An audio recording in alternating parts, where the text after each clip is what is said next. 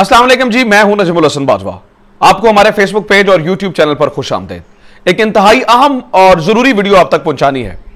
नाजन कराम ये video general Bajwa के इंकशाफात के बारे में है मतलब जनरल बाजवा की बातों के बारे में है, जो उन्होंने इमरान खान के बारे में इंकशाफ किए हैं, बहुत सारी बातें की हैं। और कुछ ऐसी हैं शायद जिन्हें मैं एक्सपेक्ट भी नहीं कर रहा था। ये एक ऑडियो लीक हुई है, और ऑडियो लीक में जो उसका मटेरियल है, उस डिस्कस किया जा रहा है इस पूरे मामले को, कि जनरल बाजवा ने इमरान खान के बारे में क्या क्या कहा। अब ये एक मीटिंग हुई थी और उस मीटिंग के बारे में मैंने आपको बताया था, कुछ बातें मैंने डिस्कस की थी। डेफिनेटली उनमें वो बातें नहीं थी जो आज मैं आपको बताने वाला हूँ। और इस ऑडियो लीक में वो ऑफिसर वहाँ पे मौजूद था जो नज़र आ रहा है और वो अपने किसी दूसरे ऑफिसर को रिपोर्ट कर रहा है और बता रहा है कि जनरल बाजवा ने इमरान खान के बारे में क्या क्या कहा है। अब चूँकि ये ऑडियो मौजूद थी, मैं बड़ी ज़िम्मेदारी की सहाफत करता हूँ। मैंने पहले इसे शेयर करना मुनासिब नहीं समझा, लेकिन फिर मैंने रऊफ क्लासरा के ब्लू टिक वाले अकाउंट से इसको शेयर होते हुए देखा है।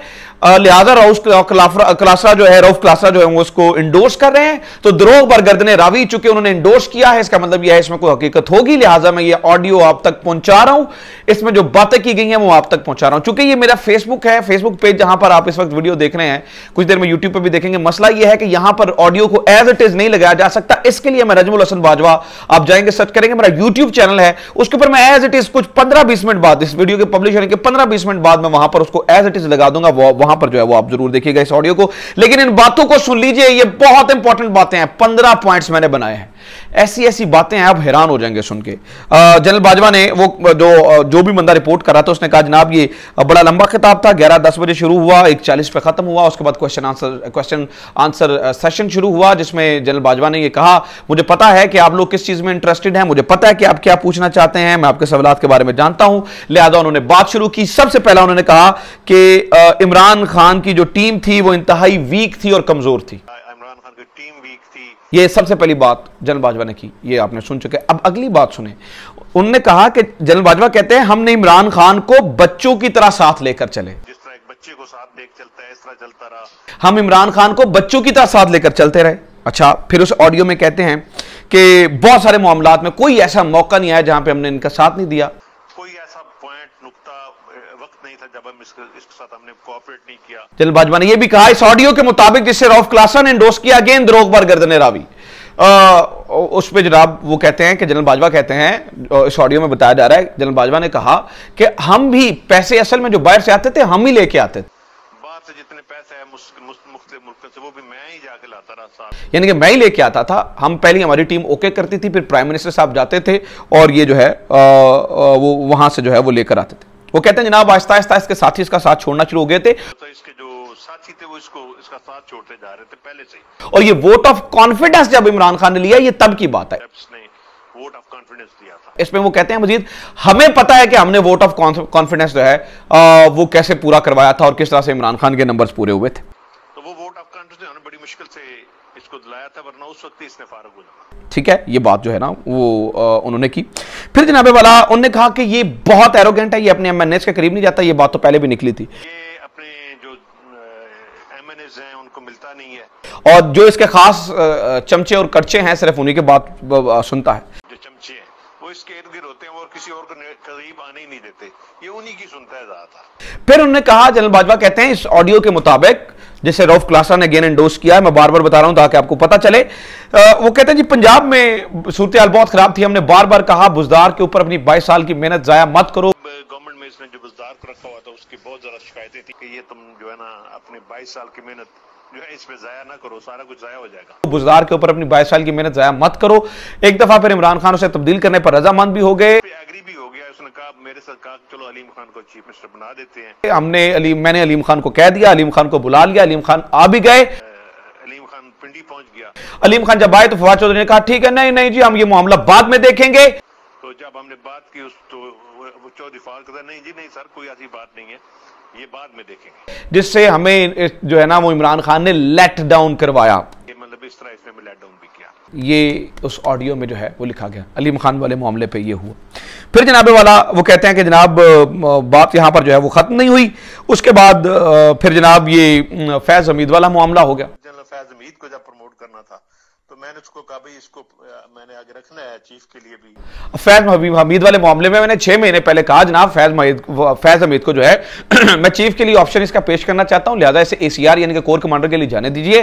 उसके लिए ज़रूरी है कि एसीआर ले core commander as a core commander. इसके ऊपर मुझे इमरान खान ने कहा नहीं अभी रुक जाइए मुझे कुछ देर जो है वो फैज हमीद मजीद चाहिए। छह महीने का टाइम दे दें। छह महीने गुजर गए उसके बाद फिर मैं इसके पास गया। छह महीने के बाद मैं दोबारा इमरान खान के पास गया। कि भाई इसको मैं अभी पोस्ट आउट करने लगा तो इसने नहीं नहीं अभी रहने दें। जहाँ पर थोड़ा उनका भी मूड खराब हो गया थोड़ा मेरा भी खराब हो गया।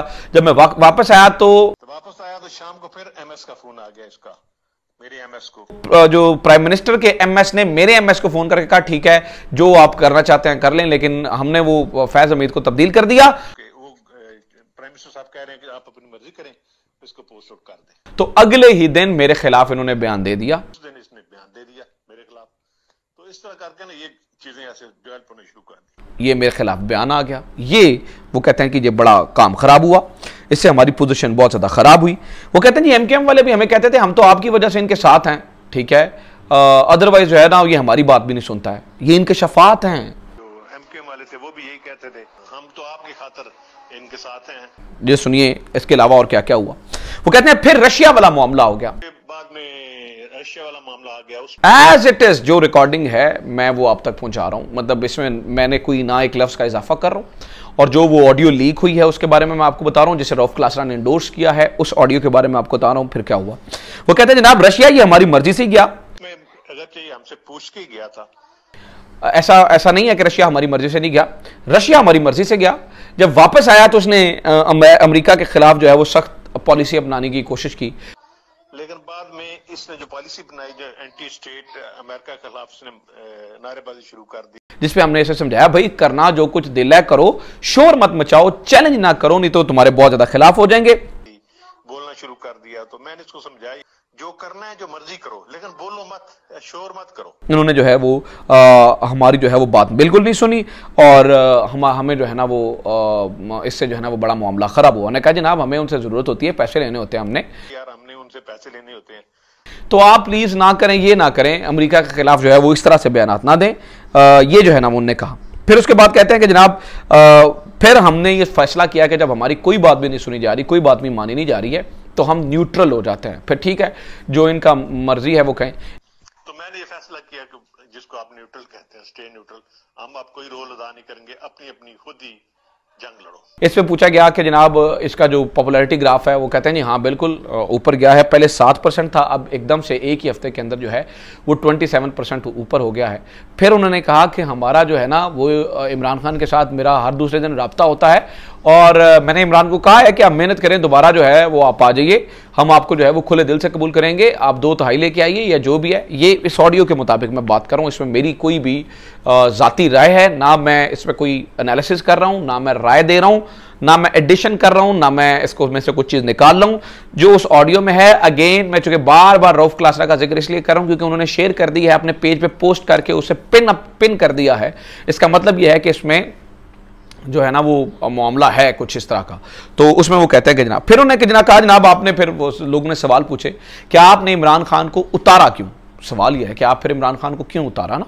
तो कहते हैं, जी, हमने नहीं उतरवाया। पहली बात यह है कि ये बात दुरुस्त समझिए कि हमने नहीं उतरवाया। ठीक है, मसले मसाइल चल रहे थे, लेकिन इसका मतलब ये नहीं है कि हम हम न्यूट्रल हो गए थे। हम कहते थे, ठीक है, अपना केस जो है वो बजाते खुद लड़ो। हम इस पर जो है वो कुछ भी नहीं करेंगे।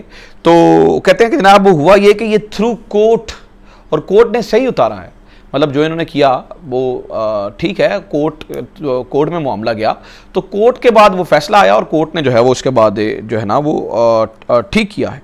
अब वो कहते हैं जिसके बाद एक बहुत डेंजरस बात है वो तो मैं सोच रहा हूँ कि मैं उसे जो है ना वो ना ही करूँ क्योंकि वो हंगामों के बारे में थी जिस पे अगला प्लान के बारे में बात की, की थी। मुझे नहीं पता ये ऑडियो सच्ची है नज़र कराम आई कांट गारंटी इट मुझे इस बात का बिल्कुल इल्म नहीं है कि ये ऑडियो सच्ची है या नहीं है। आ, मैंने ये ऑडियो की तमाम तफसीत इसलिए आप तक पहुँचाई हैं क्योंकि इसे शेयर किया है रऊफ़ क्लासरा ने ब्लू टिक के साथ उनके अपने ज़ाती पेज से ये शेयर हुआ है। इसलिए मैंने एज इट इज़ आप तक जो है वो पहुँचा दिया है। कुछ ही देर बाद यानी कि 15-20 मिनट के अंदर अंदर मेरे यूट्यूब अकाउंट के ऊपर जो है ना ये अपलोड हो जाएगी वीडियो। उसमें हम ऑडियो भी लगा देंगे, क्योंकि वहाँ पर यूट्यूब पे ये होता है कि आप आज़ादी होती है, चीज़ें ऐड अप कर सकते हो। फेसबुक पे आप बहुत सारी चीज़ें नहीं कर सकते होते हैं। फेसबुक पे थोड़ी चीज़ें जो है, वो मुश्किल हो जाती होती हैं। तो ये जो है ना, वो आप यूट्यूब पे देख सकते हैं, और आपको जो है, वो उससे सारी तफसीलात का अंदाज़ा हो जाएगा। बहरहाल, ये अब तक की तफसीलात थी। अपना ख्याल रखें। खुदा हाफ़ पाकिस्तान, जिंदाबाद।